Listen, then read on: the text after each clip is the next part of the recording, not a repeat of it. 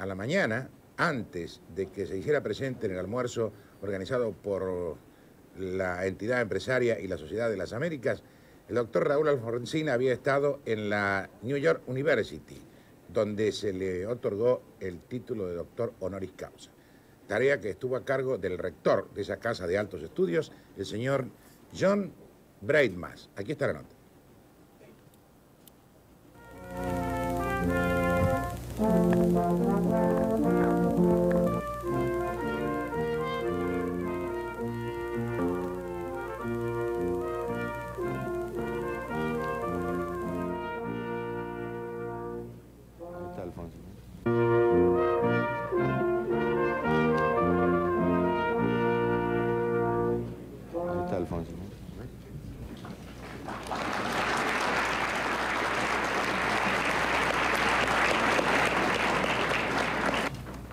United States to join with us in honoring President Raul Alfonsini.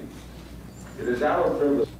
This is indeed an important day in the life of New York University, and I am proud to be here. Therefore, it is fitting that today we honor a man who has become a symbol of democracy. La bienvenida por parte de todo el Consejo que compone la conducción de esta universidad en este momento el estudiante Nicolás Crincoli, dando también la bienvenida al presidente de la Nación.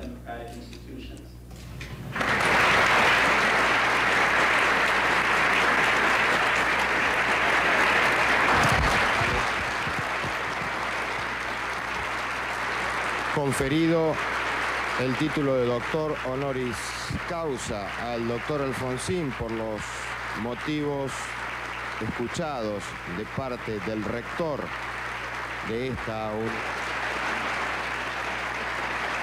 universidad. a ustedes, en esta universidad pujante y en constante crecimiento dentro de esta gran ciudad, y habiendo recibido un título honorario que en verdad honra a mi país, a mi gobierno, y por encima de todo al espíritu democrático de mi pueblo, no puedo dejar de evocar a otra universidad pujante y en crecimiento, la Universidad Nacional de Buenos Aires, inserta también en otra gran ciudad de nuestro hemisferio.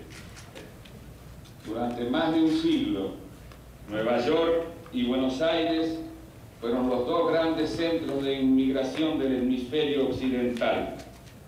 Estos dos puertos del Atlántico Norte y del Atlántico Sur han funcionado como polos magnéticos, atrayendo a gente de todas partes del mundo.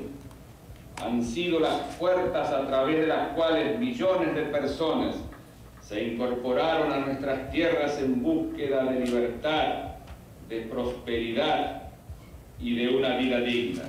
Para millones de nosotros, los argentinos y el pueblo norteamericano, esto no es solamente un hecho, como una fecha para recordar o un lugar para encontrar en el Atlas, sino que constituye la experiencia vital de nuestras propias tradiciones familiares.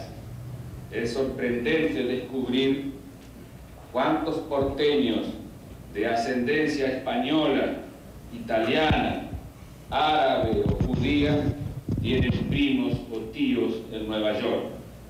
Algunos miembros de esas familias probaron suerte en América del Norte y otros eligieron América del Sur. Otra vez, muchísimas gracias por el honor que me ha conferido.